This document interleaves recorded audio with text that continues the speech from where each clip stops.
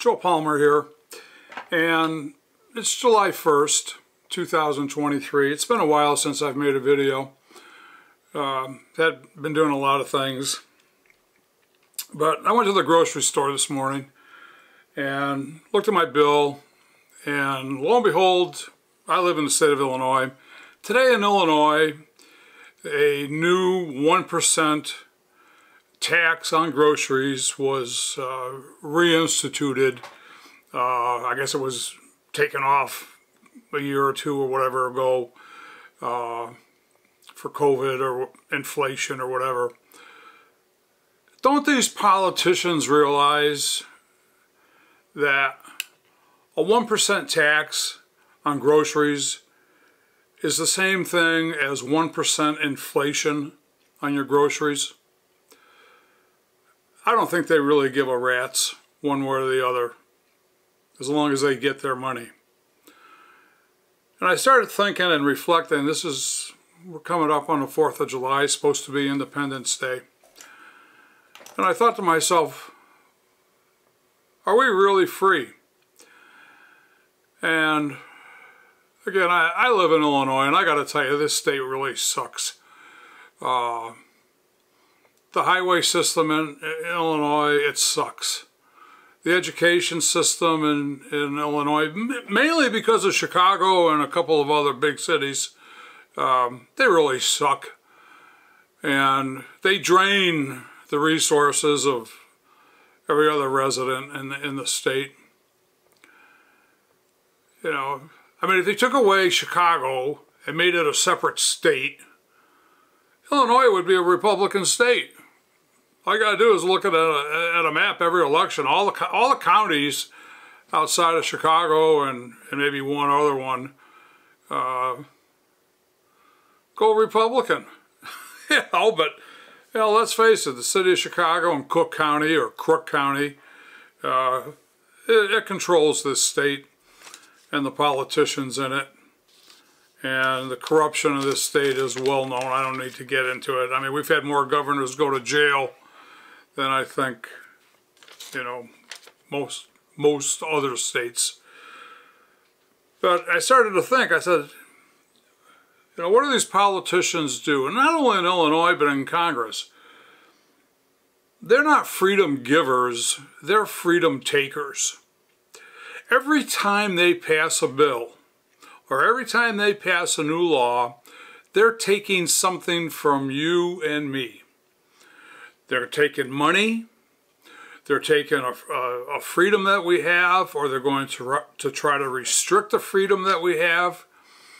Uh, and I, I've about had it up to here with their crap. In Illinois, just as an example, Effective January 1, 2023, 180 new laws went into effect. In 2022, January 1, 2022, 300 new laws went into effect.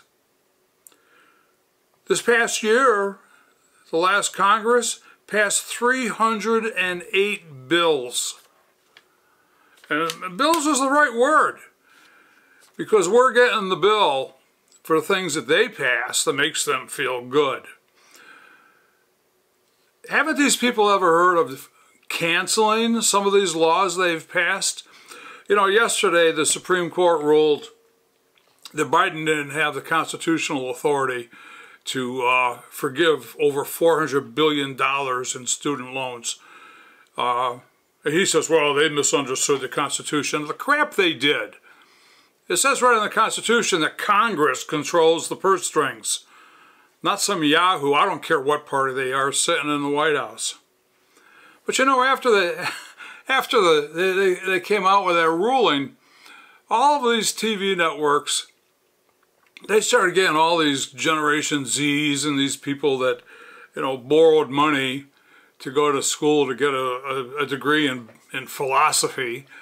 Uh, they said, well, you know, how's this going to impact you? Oh, I don't know.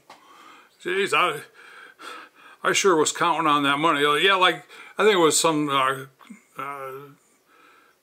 legislator in New York, uh, a lawyer, $200,000 in, in student loans, uh, and yet she just bought a 1.1, 1.4 million dollar house. You know, I feel really sorry uh, for her. And you know what? They had this this punk kid on TV, and I, will tell you, sometimes you just feel like slapping these people on the top of their head.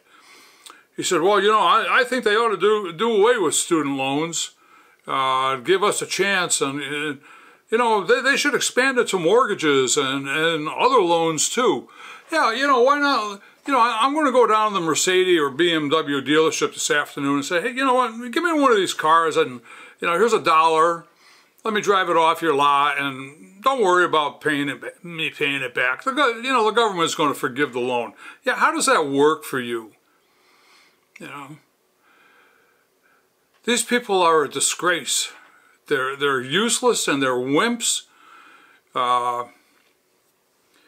and there's jobs out there, and yet they don't want to do them. They go on TikTok and figure out ways. What's a cute way to quit? You know. Um,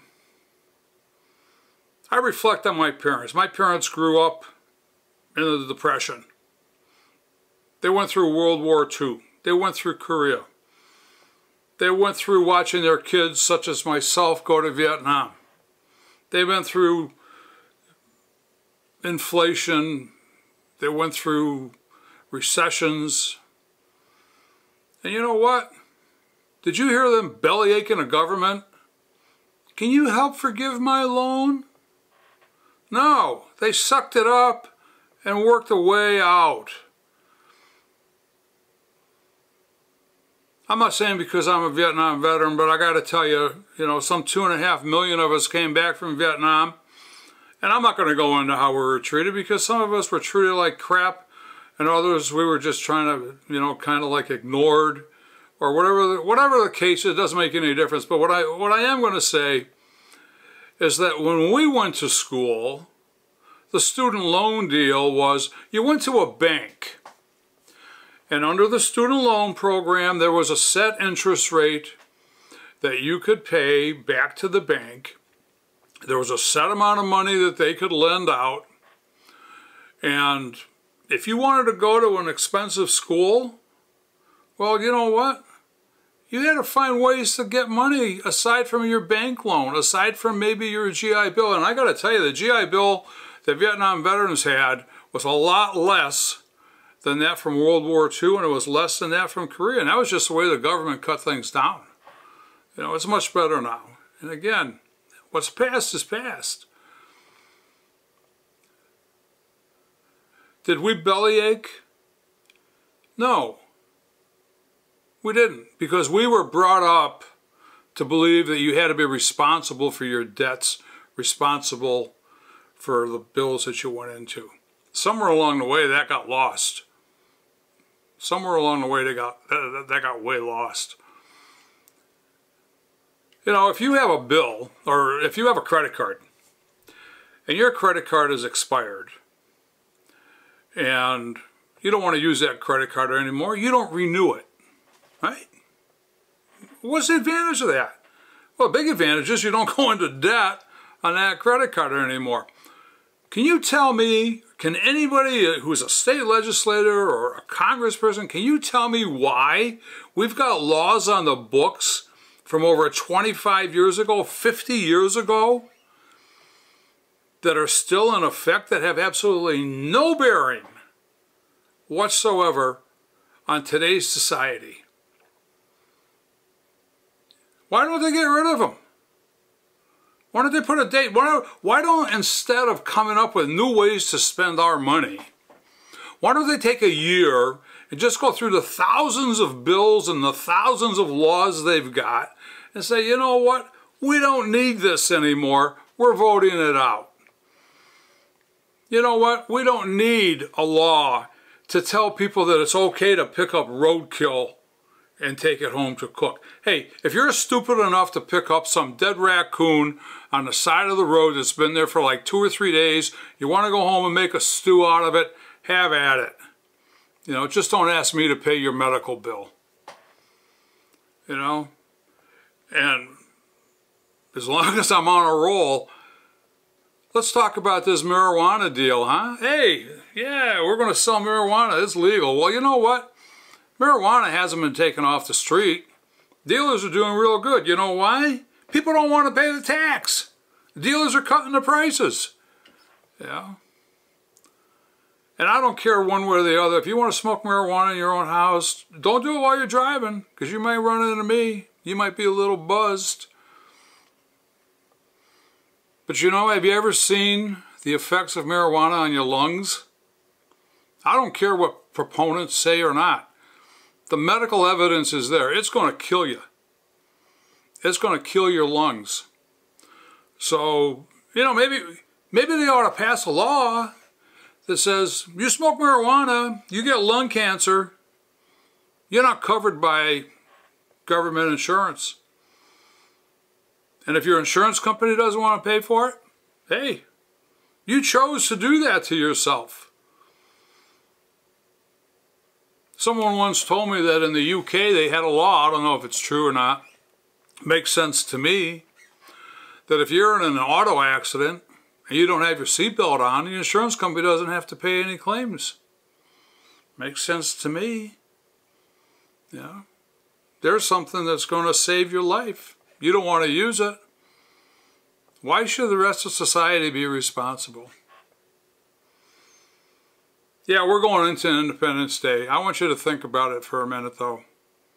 Are we really independent? Just over the last 10, 15, 20 years, however, that you can go back to think about. Think about the freedoms that you've lost. Think about the controls that government has placed on you. You know, at the end of the day, I hope you sit back and say, you know what? We're not as free as we think we are. And are, are our rights being taken away more and more every day? I don't know. Almost makes you want to leave the country. Anyway, I hope you have a great 4th of July. Just remember as you're out there barbecuing that if you're in California, they're looking at legislation to do away with your grill, your charcoal grill. Yeah, pollutes the air. Why don't we sue Canada for polluting our air? Think about that one. Have a great day. God bless.